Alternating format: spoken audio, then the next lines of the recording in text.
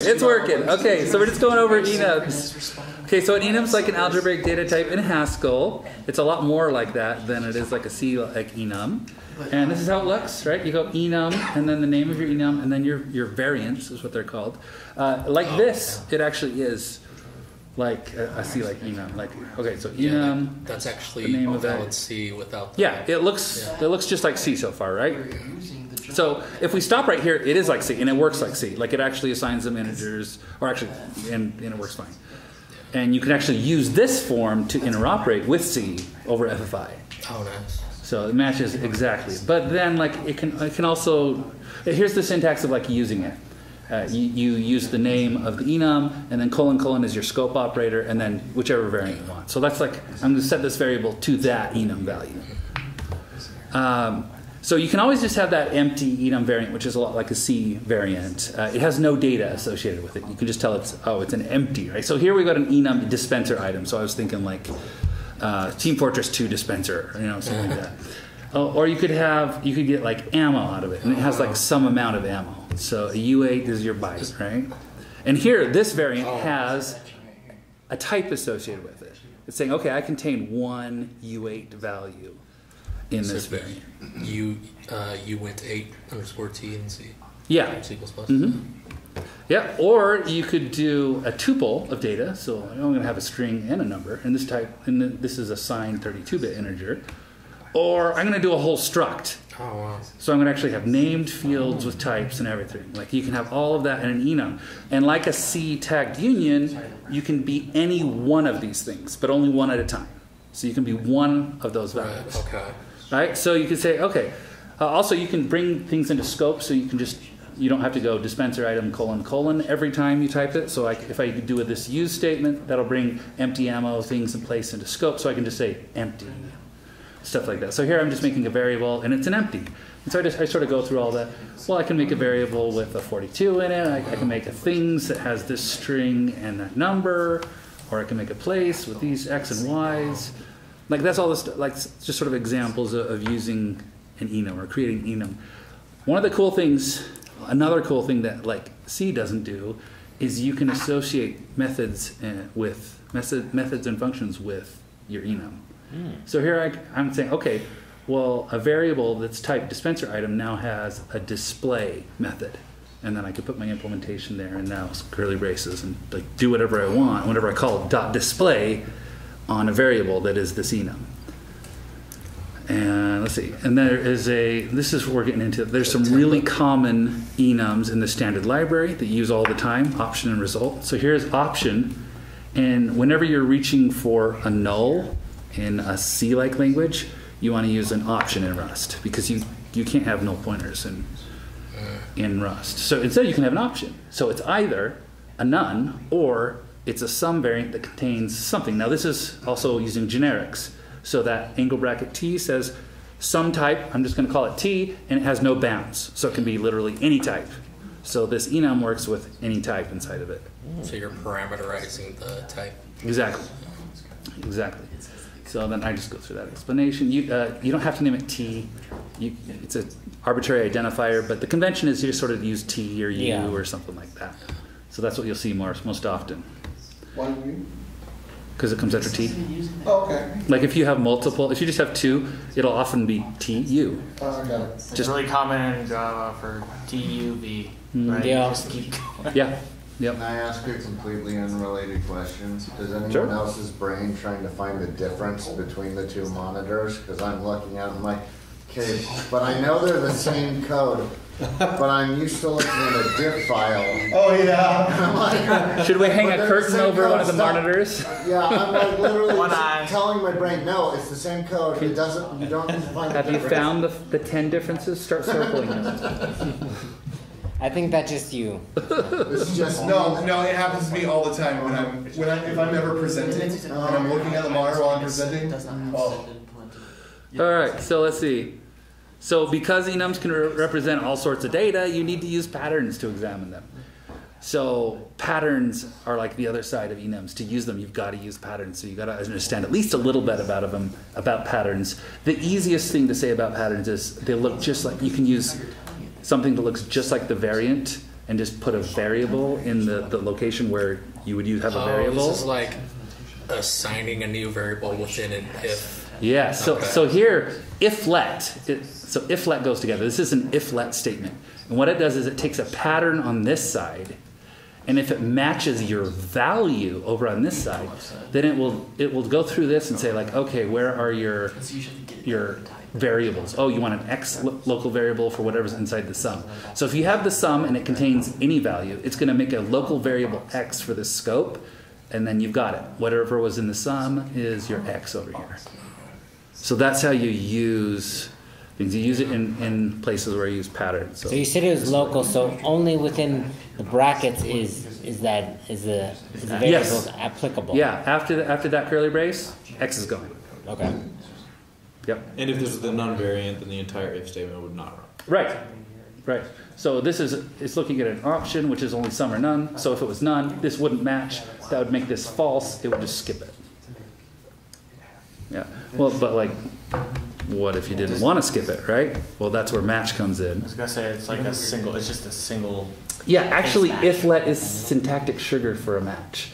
I believe it's literally syntactic sugar where it replaces it with a match statement with the other branches just as a default. Does nothing. Could you mm-hmm. reverse that so the some is on the right and the my variable is on the left? No, No? that's the syntax. Okay. Yeah, it's sort of weird. Like it, it's a little mind bending at first because I wanted the same thing. I'm like, why can't I put my variable I'm over so here? used to the variable being, the name being, yeah, so. But for whatever reason, they made that choice. But on match, the syntax is a lot more normal because it's match my variable, and then you put your your patterns. Oh, this is like a switch?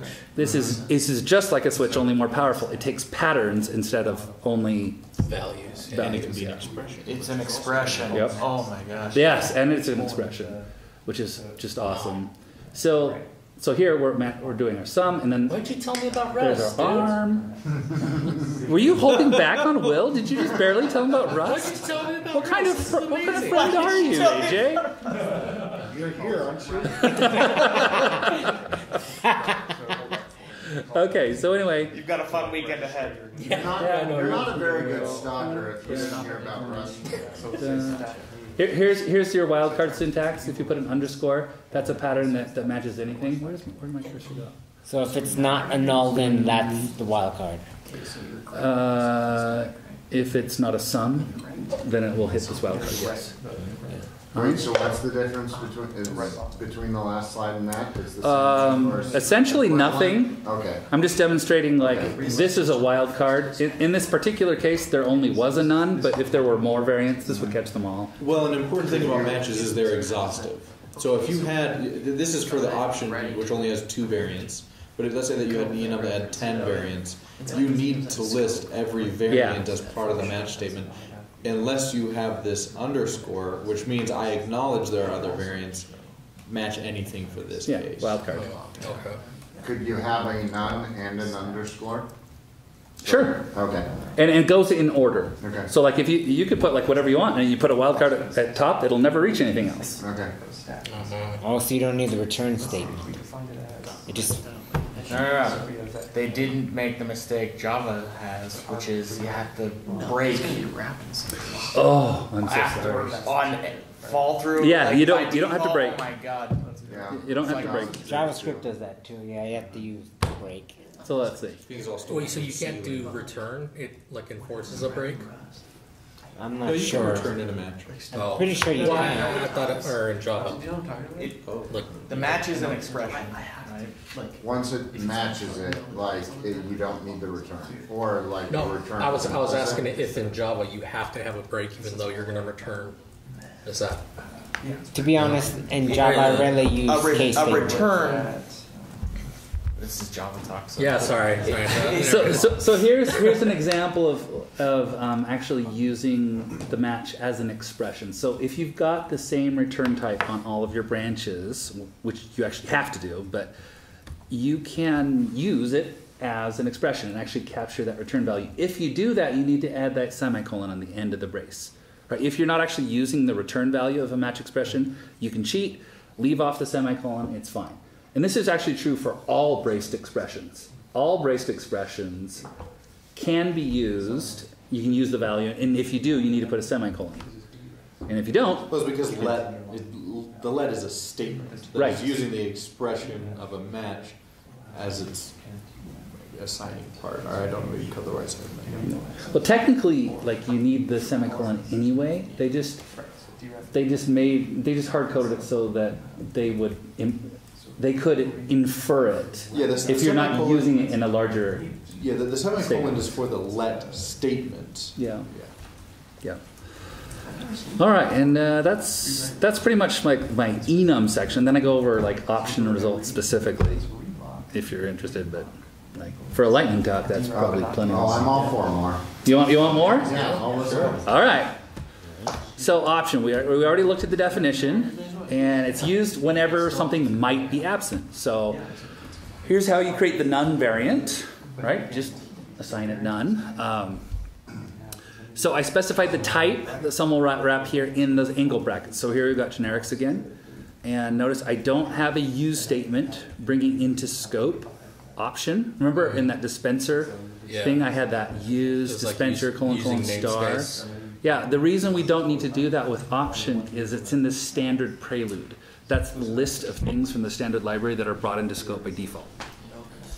So for option result in the, the, uh, several of the standard library enums, they'll just be in scope. Not all of them, but some of the most common ones will. a lot. Yeah. Shocking amounts. Option and result are used all over the place. They're seriously the two most famous common enums. Uh, if you ever use option with a concrete type, it'll infer that type, so you don't need to specify it. So you can just like leave it out like that most of the time. Uh, there's a handy helper method called is some that returns true if x is a some variant. There's an is none, does the opposite. There's a whole bunch of other useful methods, but I'm not going to go over them because there's like 45 of them. Why does that work? Why does what work? The four in, so the, what Ah, options implement? so option implements into iterator, so you can treat it as a vector of zero or one items. So you can actually go for i in an option, and if it is a some, it will give you it in the i. So that's another way. You remember we did that if let before? This is exactly the same thing, only it's using a for. That would throw me through a loop. I'd be. You can also unwrap an option, and it will panic if it's a none. Oh well, I know that one. That's all over. Uh, Wait a minute, wait a minute, wait a minute. uh-huh. It iterates over a non-iterable what? It's iterable. Yeah, it, it implements into iterate. Option implements into iterator. It has zero or one items. If it's a none, it has zero items. I, I, And if it I will- can't, I can't argue with that. And if it was, and if it's a some, it has one item. Okay. You're blowing So- my mind right now. You can also do that with your own user types. Like if you just make some weird struct, you can implement into iterator and use it in a for loop in some weird way if you want to. But why, why would you, why would you want to do that? Why would you? If you wanted wanna to use a- use map or filter or like some of those other iterator adapters, mm. or if an iterator adapter returned an option and you wanted to keep going on in your chain. Yeah. So you never use it like that, situations. I've never seen anybody do this. No, that's that's a little bit weird. but It's a little weird. But that's that's a really cool way to highlight that it implements. it. yeah, that's very It's interesting. like yeah. it has all these capabilities. Go read them. Is Yeah. basically my point. And then we go on to result. So here's the definition of it. Um, it's wrapped. So the type wrapped by OK and the type wrapped by error are different, right? You've got our T and E for any type and any error type. Um, that's just I want to point that out. Oh, is that- like the first time I've shown a multi-parameter generic.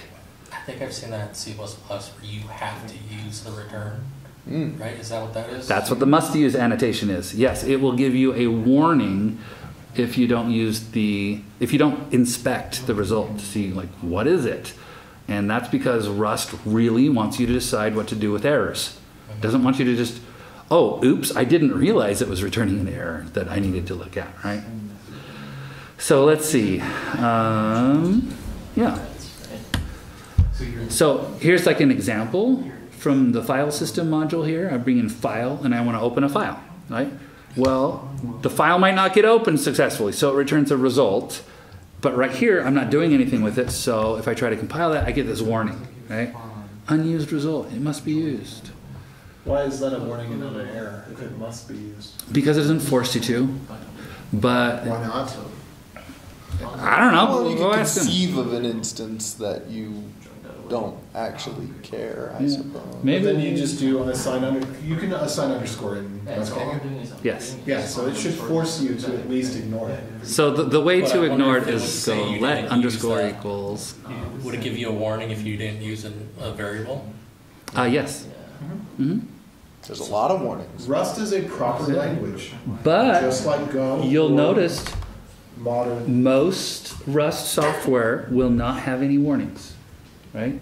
The convention is you don't allow you fix warnings. Like I I did a lot. I I, I ran Gentoo for eight years. There's a lot of software that emits a lot of warnings and everyone just ignores it in C, right? And some other languages. Running- That is not typical in Rust. compiling Linux from scratch and did the Linux from scratch project. It's Warning, like, warning, oh yeah, warning, most of these tests may or may not pass, but it's okay, just continue. It's like, okay.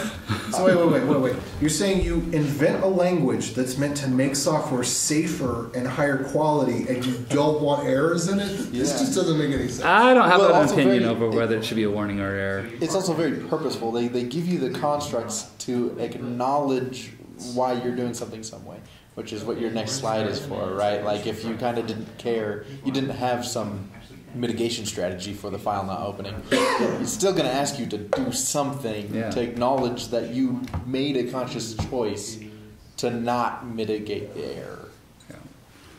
Most, I think my point is just like most warnings are treated as errors in Rust. Yeah. There's also that in C, they can force warnings to be errors. You can't ignore them. You It's can also do that with uh, Rust as well. You can add a config file or a command line argument to say, well, my warnings actually are errors. Well, there's also uh, the annotation you can put at the top of a module. Ah, true. Yeah. True. There's a lot of different ways to do it. Uh, okay, so what do you do with it? Like, okay, one thing we we do with that result is we could just unwrap it. Unwrap it, super simple. If it's if it was successful, it gives you the value. If it was unsuccessful, it panics and crashes. so you want to be careful with that one. Uh, expect is actually exactly the same as unwrap, only it gives you a message with your panic. And let's see. So you can do things like, okay, well, if I check if it's okay, an okay variant first, then I, then unwrap will always succeed. So like this unwrap will actually never crash, right? And which I sort of like. They better not. Here, you better not. Some magic bit flipping. Yeah. And of course, you can always just do your full pattern matching and say, okay, well, if it's a if it's an okay, I'll do some, some- something with my file. If it's an error, I'll do something else. And I don't have a slide for it. This is actually the end of the section. But like you could you could actually say, well, in my error case, I want to diverge. I want to return from the function or something like that. Mm-hmm. And then you could say like, I want my variable to be assigned the result of this match expression. Then it, it'll always get the file, or it will return for the function. Assuming main wasn't like the main. The, Well, even if you return from main, it exits the program. It's still it's still it valid would code. try to return the, so it convert it to an int or something. Oh yeah, so that's an interesting thing. Is the main function doesn't return an int in Rust. So um, you can return anything that implements the, I think it's the termination trait uh, in Rust. So nothing implements the termination trait, which will just always be successful. There's also a standard process exit where you can specify an exit code, or there uh, errors. Uh, there are errors that implement the termination trait. So like if Yeah, you main return an return a error result. or a result, implements termination trait. And anyway,